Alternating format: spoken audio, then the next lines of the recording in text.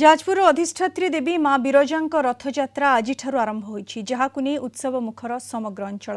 ପାରମ୍ପରିକ ରୀତିନୀତି ଅନୁଯାୟୀ ରଥ ପୂଜା ଆରମ୍ଭ ହେବା ପରେ ରଥ ପ୍ରତିଷ୍ଠା କରାଯାଇଥିଲା। ଏହାପରେ ମାଙ୍କ ଚଳନ୍ତି ପ୍ରତିମାଙ୍କୁ ରଥାରୂଢ଼ କରାଯାଇ ରଥ ଟଣାଯାଇଥିଲା। ଆସନ୍ତାକାଲିଠାରୁ ଆଠ ଦିନ ଯାଏଁ ପ୍ରତ୍ୟହ ସନ୍ଧ୍ୟାରେ ରଥ ମନ୍ଦିରର ବେଢ଼ା ପରିକ୍ରମା କରିବ। ବିଶ୍ୱାସ ରହିଛି ଏହି ନବଦିନାତ୍ମକ ପୂଜା ସମୟରେ ମାଙ୍କ ମୁଖ ଦର୍ଶନ କଲେ कोटि जन्मर पुण्य मिथाए श्रद्धा श्रद्धा लक्ष्य रिस प्रशासन पक्ष बन्दोबस्त मा विरजाई शारदीय उत्सवको शान्ति शृङ्खल सारेको मंदिर प्रशासन प्रस्तुति मा विरजाईश दिवस अवसर नव दिवसीय रथ यत्रा आरम्भ प्रतिष्ठा मण्डप यज्ञ अनुष्ठान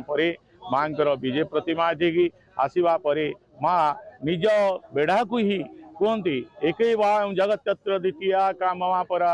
ସେ ନିଜେ ହିଁ ନିଜ ବେଢ଼ାକୁ ନଅ ଥର ପରିକ୍ରମା କରିବା ସହିତ ମହାନବମୀରେ ରଥ ଅବତରଣ କରି ଶତ୍ରୁ ସଂହାର କରି ସେ ଶ୍ରୀମନ୍ଦିରକୁ ଫେରନ୍ତି। ଆଜି ମା ବିରଜାଙ୍କର ପୁଣ୍ୟ ଦିନ ପ୍ରଥମ ରଥଯାତ୍ରା ଆଜି।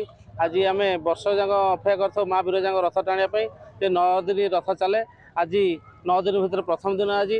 ଆମେ ରଥ ଟାଣି ବହୁତ ପୁଣ୍ୟ ଅର୍ଜନ କଲୁ ଯେ ବହୁତ ପୂର୍ବପୁରୁଷ ରହି ଆସି ରଥ ଟାଣିଲେ ପୁଣ୍ୟ ହୁଏ ମୁଖ୍ୟ ହୁଏ ସେଇ ଅନୁସାରେ ଆମେ ରଥ ଟାଣିଲୁ ମାଙ୍କର ତ ରଥଯାତ୍ରା ଆରମ୍ଭ ଆମ ଜିଲ୍ଲା ପ୍ରଶାସନ ତରଫ ପୋଲିସ ପ୍ରଶାସନରୁ ସମସ୍ତ ପ୍ରକାର ବ୍ୟବସ୍ଥା କରାଯାଇଛି ଏ ଯେଉଁ ନବଦିନ ଯାତ୍ରା- ରଥଯାତ୍ରା ଚାଲିବ ସମସ୍ତ ଶାନ୍ତି ଶୃଙ୍ଖଳିତ କେଉଁ ସମାହିତ ସମସ୍ତ ପଦକ୍ଷେପ କରାଯାଇଛି ଆମେ ଆଶା କରୁଛୁ ଆମର ବିଶ୍ୱାସ ଅଛି ଏ ରଥଯାତ୍ରା ଠାକୁରାଣୀ ମାଙ୍କର ଏକଦମ ସୁରୁଖୁରୁରେ ସମ୍ପନ୍ନ ହେବ ମା ବିରଜାଙ୍କର ରଥଟଣା କାର୍ଯ୍ୟ ଆ, ହୋଇଛି ଆରମ୍ଭ ହୋଇଛି ଏବଂ ଆ, ପ୍ରଥମ ଦିନ। ଆଜି ଏବଂ ଏହି ରଥଟଣା କାର୍ଯ୍ୟ ଚାଲିବ ସବୁଦିନ ଏବଂ ମନ୍ଦିର ତରଫରୁ ପ୍ରଶାସନ ତରଫରୁ ସମସ୍ତ ବ୍ୟବସ୍ଥା କରାହେଇଛି ଏବଂ ପୁଲିସ ବ୍ୟବସ୍ଥା ମଧ୍ୟ ହେଇଛି ଏବଂ ଶାନ୍ତି ଶୃଙ୍ଖଳା ପାଇଁ ବ୍ୟାରିକେଡିଂ ବ୍ୟବସ୍ଥା ଯେମିତି ଭକ୍ତମାନେ ଆରାମ ମାନେ ଶୃଙ୍ଖ- ଶୃଙ୍ଖଳିତ ହେବାର ଦର୍ଶନ କରିପାରିବେ ସବୁ ବ୍ୟବସ୍ଥା କରାଯାଇଛି